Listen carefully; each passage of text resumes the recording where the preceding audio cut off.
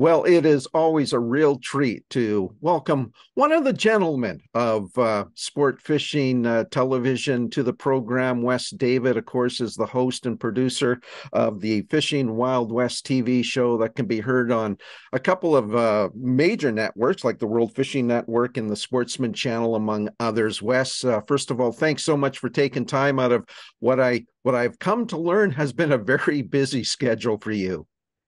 Yeah, thank you for having us. Um, and uh, it's it's it's a real pleasure to be part of your show. Um, yeah, it has been crazy busy, Michael. It's uh, and I'm very flattered. Uh, like I'm I'm not complaining. It's good to be busy. Um, our our viewers and supporters have helped us, you know, grow and maintain that busyness. And it's uh, I'm very flattered and just want to say thanks.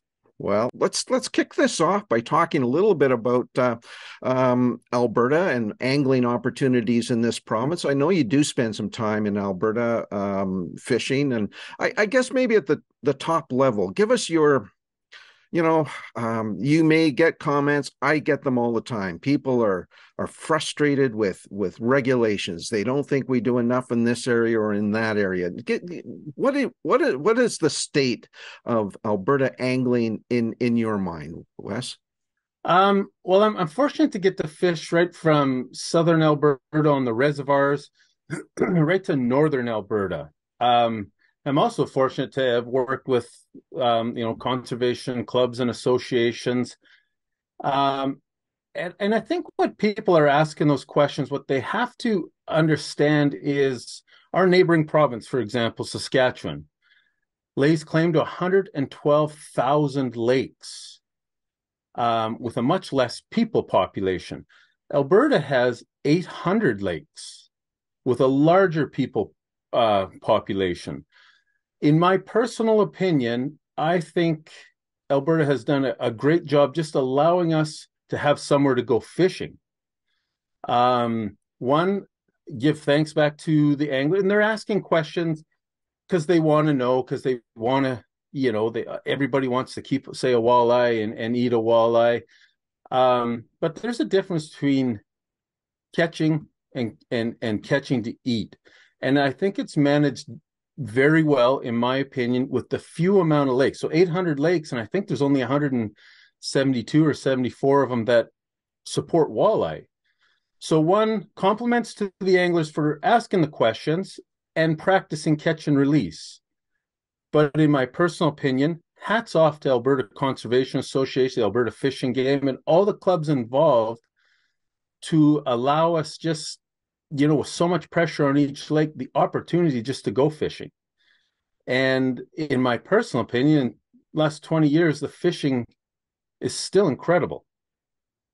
Yeah, I guess it's it's a shift of it's a it's a mind shift you know going from you know the, the maybe days where uh, an older angler had remembers catching a, a, handful of of walleye and bringing them home and put them on the barbecue or having shore lunches and that type of thing. So it's it's kind of a shift. Like you said 800 fishable lakes and well over 200,000 angling licenses um, sold yeah. pretty well on a on an annual basis. Uh, do the math and and it i mean if we were to open up a lake or lakes to catch and release, we would probably get through half a season and we'd be done.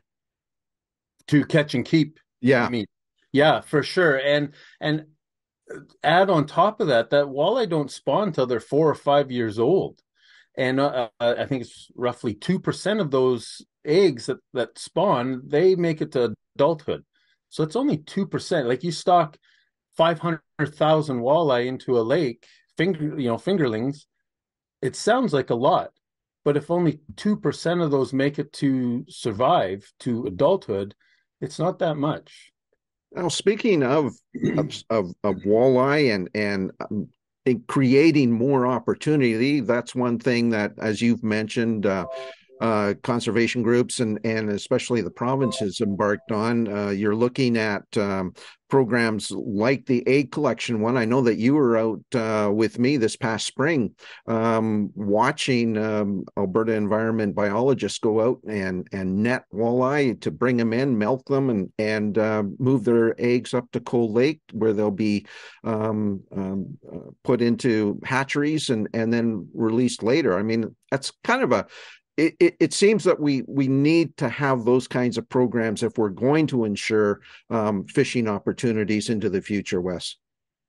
I uh, I couldn't agree with you more, and I truly wish everybody could see the the hard work and dedication that went into that. Even for me, I, am on the water all the time, and and I love walleyes, my bread and butter. I love walleye fishing. It got me to this point, but to see the work that went on well, we're all at home with the seasons closed, and I mean it was cold. There's hard work. There, it was a an incredible team effort, and you know the walleye when they when they brought them out, milked them, they were out of the water less time than uh, when an angler catches and releases a fish.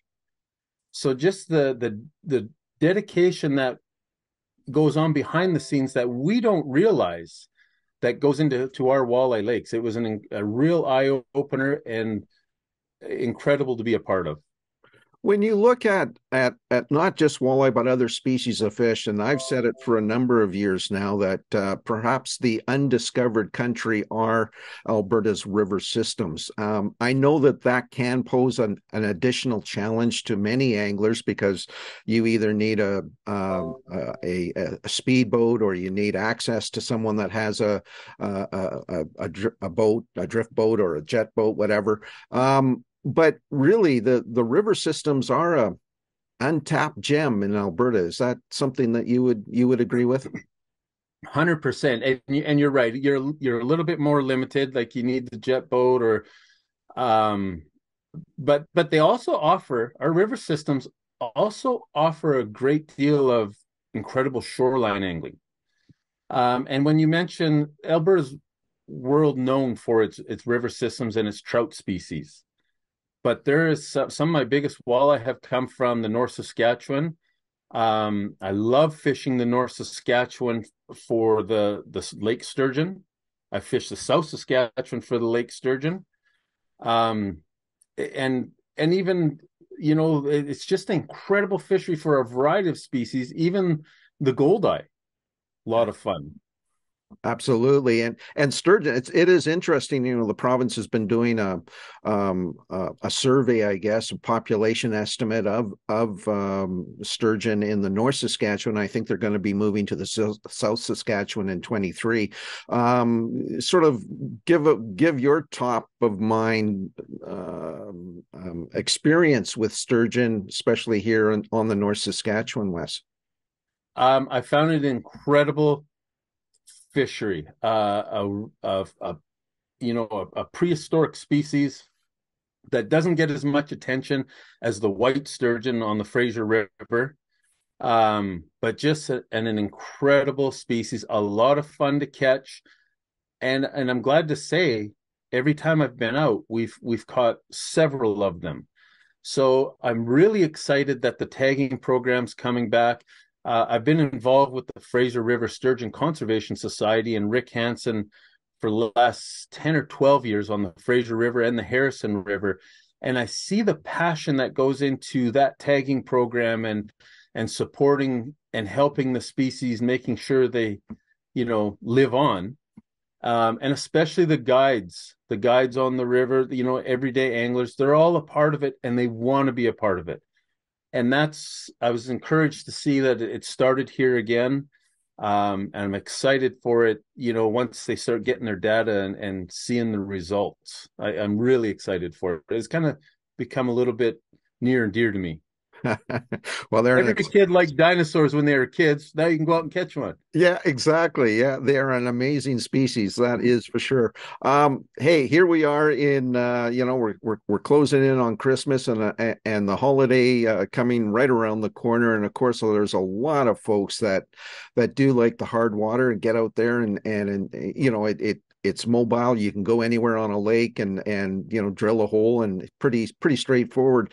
Um, top mind, uh, Wes. What are what are some key things that that you would offer in terms of advice to those that that enjoy or want to get into ice fishing? I like you said, uh, ice fishing puts everybody on a level playing field. You don't have to have the big fancy tracker boat or, or you know, and and it's inexpensive. So you can get out and go fishing for a variety of species. Um, what I recommend is if you're new to it, and I've done this myself on a lake I've never fished before, I'll often go where the cabins are or where the, the shacks are because they know they're they're locals, they're in the know, but do maintain you know the courtesy and the respect. Stay i still like to stay a casting distance away just just like if you were fishing on the open water.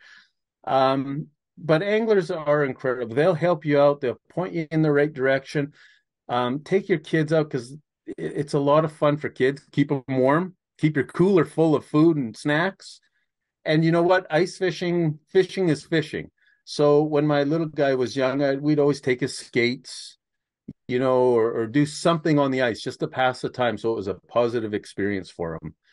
Um, but the best thing I can do is is just go fishing and, and enjoy.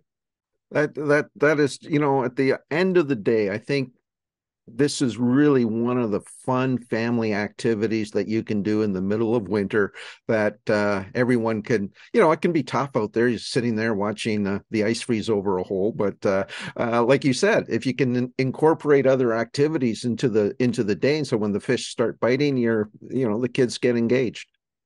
100% and i mean if it is that cold maybe wait till the next day till it warms up we are in alberta wait 20 minutes it'll get warmer um, but hundred percent, it's it's just it's just the fact get out and go and, and keep it fun. We wish you nothing but continued success. One of the true ambassadors of uh, angling in in Canada, not just Western Canada, in my opinion. Wes, uh, all the best, and uh, wishing you and your family a very merry Christmas. Thank you very much, and thank you for having me. And Merry Christmas to everybody.